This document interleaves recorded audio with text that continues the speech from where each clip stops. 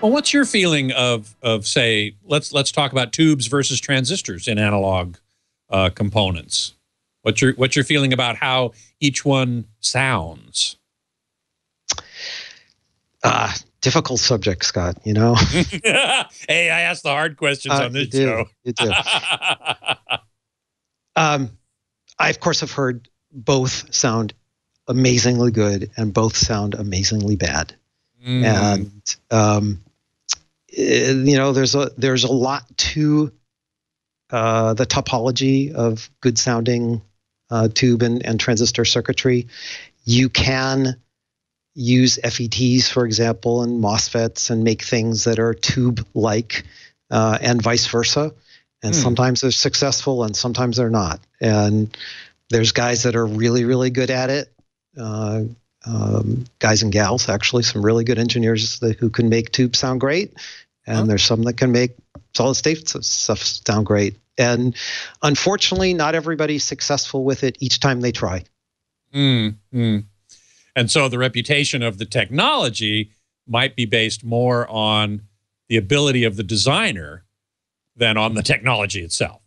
Sure. I mean, we can all cite companies who have had, you know, a fabulous run of great products of a particular type, let's say all tube, and then there's one that isn't so good, you know, and they may follow it up with a better one or a worse one or, you know, it's mm. it's it just comes down to paying attention to all the details and and making sure, you know, I's and T's are dotted and crossed, and maybe you go back to some earlier thoughts that you know worked and and uh, develop them more rather than going off on some other direction. Mm-hmm. Sandman in the chat room is saying Nelson Pass of Pass Labs has been buying up discontinued parts, uh, much like uh, Constellation has, I, I guess. I guess, yeah. There are a few. There are a few of us that have been um, seeking some some of the same parts. In fact. Yeah, right. I can, I could, I'm now imagining, you know, a Black Friday sale where Nelson Pass and you and some other people are fighting over the last remaining transistors. right. Little, little bidding wars here and there. Yes. Right, right, right. Exactly. Um, well, okay. Another question regarding analog versus digital. Mm -hmm. Then well, before I get before I get to that, I, I wanted to make mention one more thing about tubes, uh, which is that there is some inherent difference that I understand, and correct me if I'm wrong. Uh, that tubes uh, tend to introduce even order harmonic distortion, whereas semiconductors tend not to. am I correct about that or not?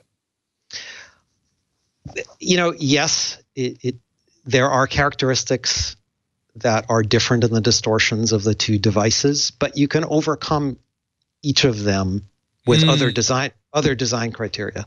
Mm-hmm. Um, I mean, I have I have sitting in my listening room right now um, a hybrid tube and solid state amplifier. So it's got a tube front end and a solid state back end. Mm-hmm. Um, and it is part of my listening rotation when I want to hear something that I thought sounded really good from a few years ago.